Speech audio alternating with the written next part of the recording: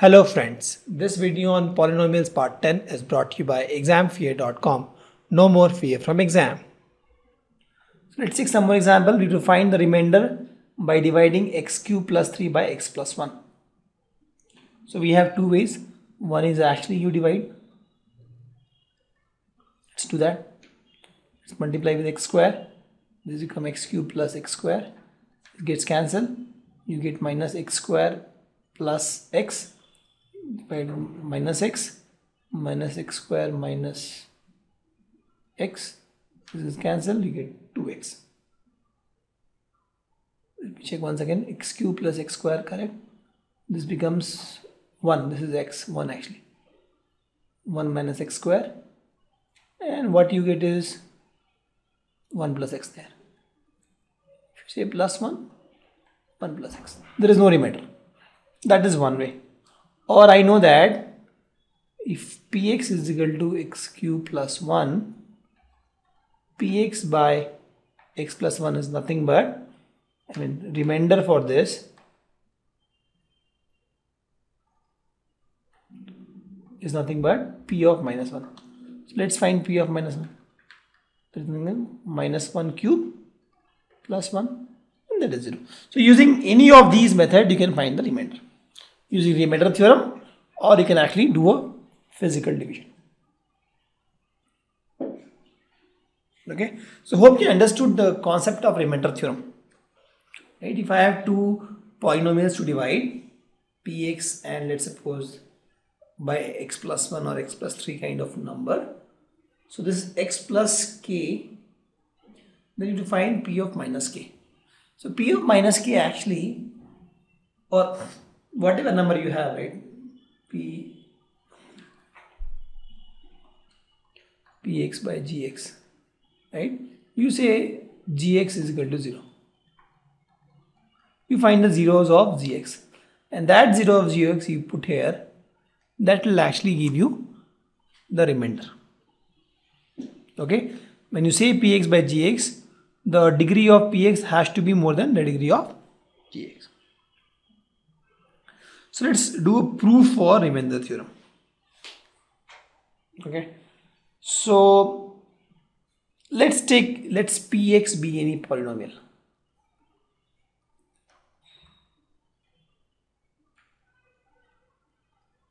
Polynomial with uh, degree greater than equal to 1. Okay so I'm saying if px is divided by x minus c, I get quotient is let's suppose qk and remainder as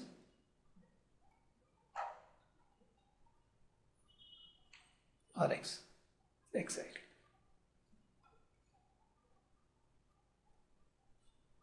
Thus, I can write that px is nothing but x minus c whatever you have into q of x plus remainder right? Dividend this is divisor this is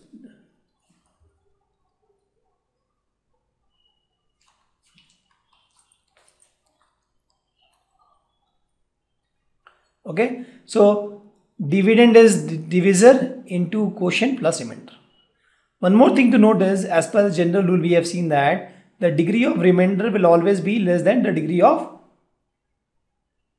divisor. Degree of divisor is degree of divisor is 1 maximum x to the power is 1 so degree of remainder will be 0 so degree of remainder is 0 I can write rx as nothing but some r okay because it has to be some constant. Now I have to make this as 0 to get the remainder. To make this as 0 qx is something which we don't know. This is unknown. So x minus c is something we know divisor. So I can say x minus c is 0 so if you say x minus c is x is 0 that is x is equal to c. Right so if I find P of C, that will become nothing but if you find p of c x minus c is 0 0 into q of x plus r. That is 0 plus r that is r. So as per this logic p of c will give me the remainder. Okay? So as we just proved this is the remainder theorem so px be any polynomial greater than or equal to 1 and a be any real number. If px is divided by a linear polynomial x minus a, then the remainder is always pa. px divided by x minus a. For this, if you want to find the remainder, for this is nothing but p of a. Let's take some example. Find the remainder when this whole expression is divided by x minus 1. So one big way is you actually physically do the division or I can say that remainder when x minus 1 divides px assume px is this is nothing but p of 1 as per remainder theorem so let's find p of 1 p of 1 will be 1 to the power 4 plus 1 to the power 3 minus 2 into 1 to the power 2 plus 1 plus 1.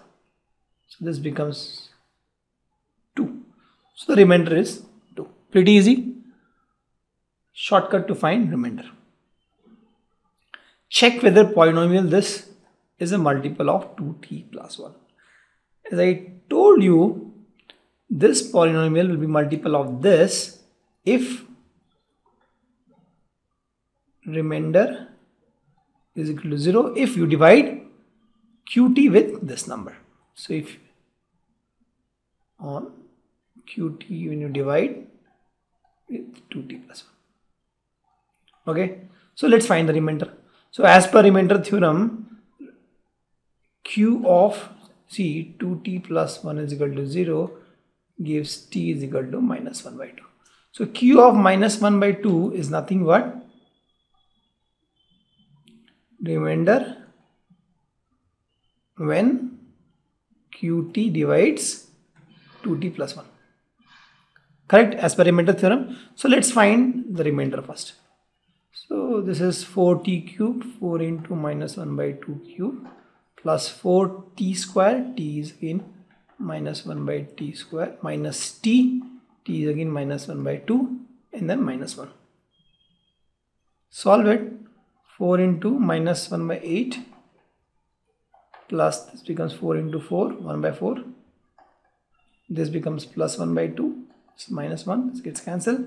1 minus 1 get cancelled and this is 4 by 8 is minus 1 by 2 this is minus 1 by 2 plus 1 by 2 and this is 0 since the remainder is 0 I can say that this whole qt is multiple of 2t plus 1